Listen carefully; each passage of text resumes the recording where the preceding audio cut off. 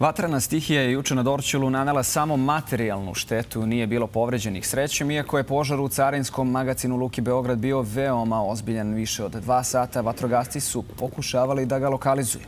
A od početka jula vatrogasne brigade su širom Srbije ugasile više od 600 požara na otvorenom, od toga 124 samo u Beogradu.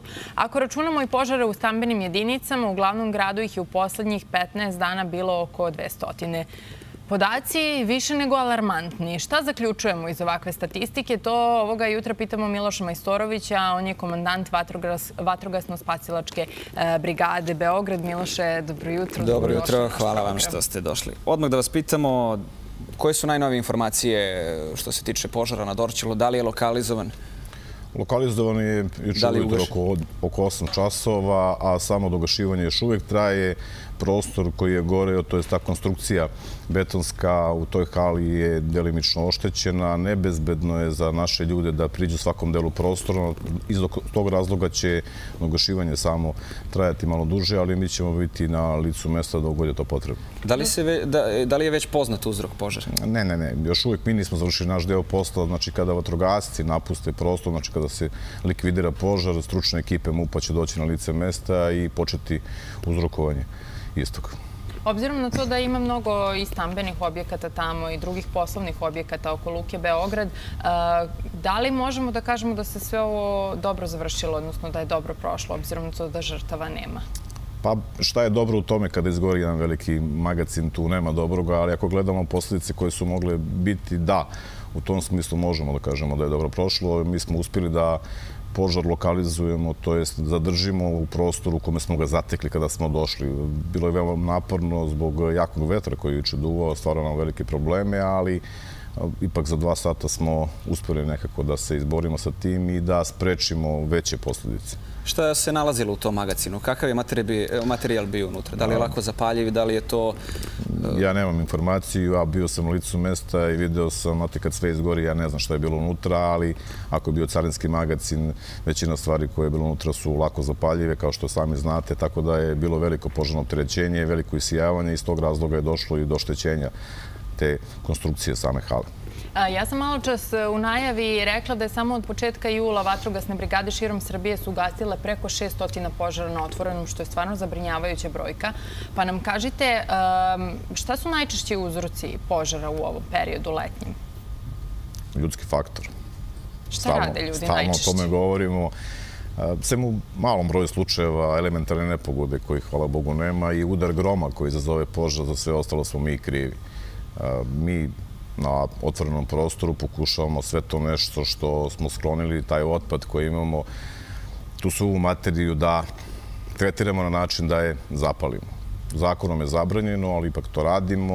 U situacijama kada imamo povećanu jačinu vetra, dolazi i do paljenja iste, proširivanja požara. Nažalost, nažalost, vrlo često, pored velikih materijalnih šteta, imamo povređenih lica, nažalost, i smrtno stradalih u istim. Ako vam kažem da se to možda nekom ne čini kao požar na otvornom prostoru, da je sa velikim materijalnim štetama. U posljednjih nekoliko dana u Beorodu su izgorila dva kombajna sa većom površinom žita koje nije bilo završeno, obrađeno, jedan kamion, tako da... A šta je tu bio uzrok, na primjer? Pa mi ne utvrđujemo uzrok, ali vrlo verovatno možda kvar na samom tom kombajnu ili kamionu ili je neko bacio opušak koji nije smatrao da je opasan i to lagano krene. Je to ono što ljudi najčešće rade? E, gotovo svakodnevno u saobraćaju vidimo da neko izbaci kroz prozor opušak. Koliko je to e, opasno? Čini se da nije vi ste bacili opušak i mislite to je sad negde palo na taj asfalt ili beton i to će se samo ugasiti. Nije to velike količine energije u tom opušku, ali ako to bacite u travu koja nije imala kiše 15-20 dana, toliko je suva, vidjet ćete kako to brzo krene od malog požara i prerasta u katastrofu. Kakva je situacija u Beogradu? Koliko je bilo slučajeva u proteklo vreme? Spomenuli ste pre nego što smo započeli razgovor da je juče bio veliki broj intervencije. Jučerašnji dan je rekordan za ovu godinu, 38 intervencija imala vatrogasna spasilačka brigada, od toga 33 požara, podeljeno otvoreni prostor i građanski objekti, 18-17 i jedan vodi.